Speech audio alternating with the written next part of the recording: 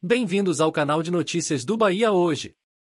Aqui você encontrará as últimas atualizações sobre o time, incluindo jogos e notícias exclusivas. Não perca nenhuma novidade e se inscreva agora para ficar por dentro de tudo o que acontece no clube.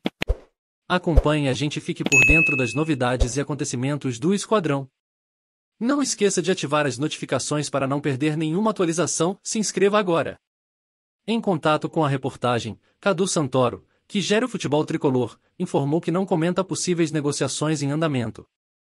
O GE apurou, no entanto, que o volante de 28 anos segue na pauta do clube. O torcedor do Bahia pode matar uma saudade em breve. O volante Gregori, que defendeu o tricolor entre 2018 e 2020, pode retornar ao clube baiano.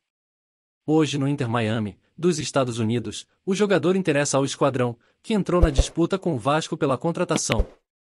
Gregori foi um dos achados da gestão Guilherme Belintani do Bahia. Ele foi contratado em janeiro de 2018, depois de se destacar no Campeonato Brasileiro de Aspirantes pelo time B do Santos, e não demorou a conquistar a titularidade e a torcida tricolor.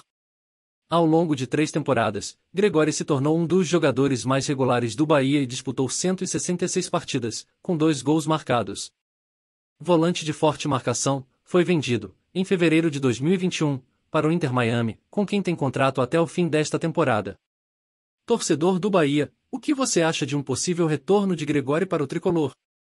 Coloque sua opinião nos comentários, será que vale a pena o retorno dele?